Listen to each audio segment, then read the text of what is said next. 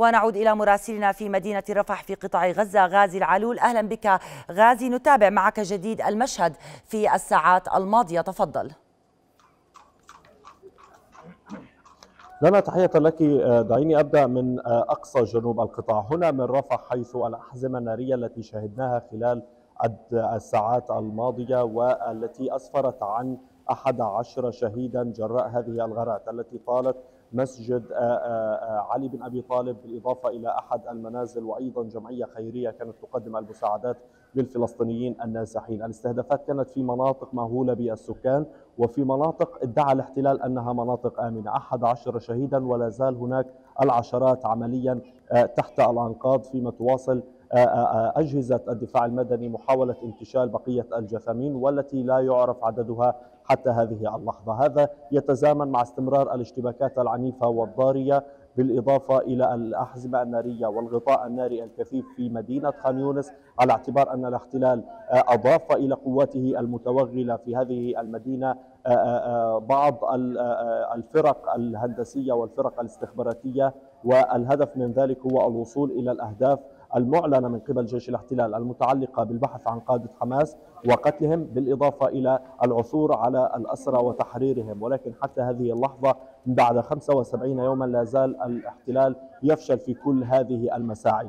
في حي الشجاعية الذي شهدنا بعض الصور واللقطات المؤلمة المتعلقة بالاستهدافات العنيفة التي تزامنت في نفس اللحظة ونفس الدقيقة محيت 56 مبنى عن وجه الأرض وأصبح أثرا بعد عين نتيجة هذه الغارات الكثيفة والعنيفة. وهو الأمر الذي يدلل على أن الاحتلال فشل على الأرض عمليا من الوصول إلى عمق هذا الحي والذهاب نحو تحقيق أهدافه. أولا من خلال تحرير الرهائن أو الأسرى الذين قتل ثلاثة منهم في إحدى الحالات بالإضافة أيضا إلى عدم قدرته على مجابهة المقاومة الفلسطينية التي تتصدى وفق يعني ما عهدناه خلال السنوات الماضية خاصة في حي الشجاعية استطاعت دك آليات الاحتلال وتدمير عدد كبير منها وأيضا قتل عدد كبير من جنود الاحتلال من بينهم قائد لواء جولاني هذه هذه المعطيات دفعت جيش الاحتلال نحو الذهاب لحرق هذا الحي عن ذكرى أبيه. وتدميره بشكل كامل. هناك عشرات الشهداء بالتأكيد ولكن لصعوبة الموقف وحساسية هذه المنطقة يصعب على سيارات الإسعاف الوصول إلى هناك. عمليا أيضا نشهد بعض التوغل في الشوارع الرئيسية مثل شارع الثلاثيني الذي خلف سبعين شهيدا الاستهدافات التي جرت فيه بطبيعة الحال. وأيضا منطقة الصبرة هناك استهدافات واشتباكات عنيفة في هذه المنطقة التي كانت قوات الاحتلال قد انسحبت منها من هذه المناطق. خلال الأيام الماضية ولكن هي عادت إليها مرة أخرى. وسط حالة من القلق والخوف للفلسطينيين الذين باتت أمامهم الخيارات محدودة. هم لا يعرفون إلى أين من الممكن أن يذهبوا بعد ذلك على الرغم من أنهم صمدوا على مدار 75 يوما في مدينة غزة وشمال القطاع ولم يخرجوا منها بتاتا.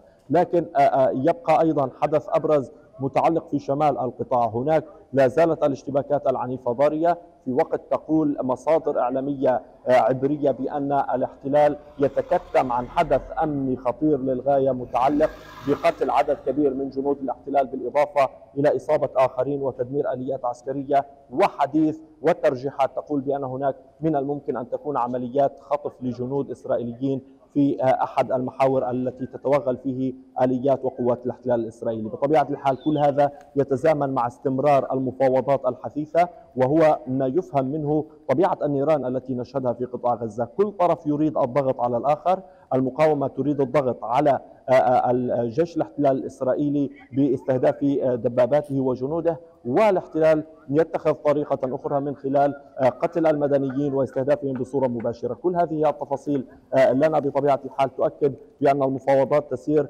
ربما تحت ضغوطات كبيرة وصعوبات كبيرة ولكن لا يمكن أبدا التنبؤ بنتائجها.